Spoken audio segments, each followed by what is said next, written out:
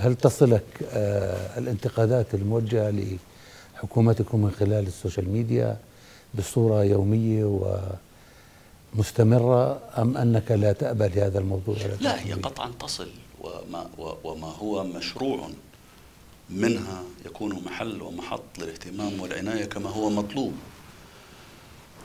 لأن لأن جل السوشيال ميديا أبو أسامة جل السوشيال ميديا يؤشر لك أحيانا الكثير من مواطن الخلل أو القصور أو حالات تتطلب تدخل ومعالجة سريعة وفكفكة سهلة لكنها تكون في كثير من الأحيان غائبة عن الرادار الحكومي وأدوات الرقابة الحكومية المتاح.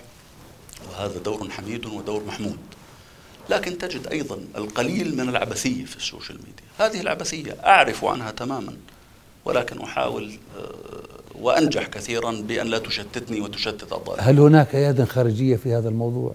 لأن الوزير السابق للإعلام أشار إلى ذباب إلكتروني بالآلاف باستهداف الأردن؟ باستهداف الأردن باستهداف الأردن؟ نعم بالقطع هناك استهدافات وحسابات في رقم دولة الرئيس؟ آه بفترة من الفترات كان هناك تقدير بأنه هناك 120 ألف حساب وهمي آه من دول في الإقليم موجهة باتجاهنا سلبيا دول عربية. دول في الإقليم.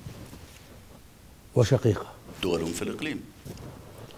أه هل تعتقد أن الأردن مستهدف في هذا الأمر وهناك دول تدفع باتجاه ذلك؟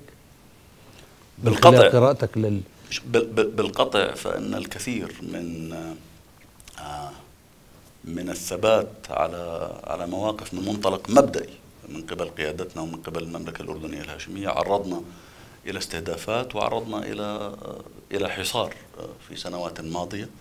ولكن ولكن كل هذا أؤكد لك بأنه لن يثني المملكة الأردنية الهاشمية عن الاستمساك الدائم بالمبادئ التي تؤمن بها المملكة الأردنية الهاشمية والتي دفعت القيادة ودفع الأردن في سبيلها الثمن من من دماء أبنائه ومن من محاصرته في مفاصل كثيرة وبالنتيجة تعبنا من هذا الأمر إلا أننا لم نخذل لأن التمسك بالمبادئ على هذا المستوى يتعب ولكنه لا يخذل.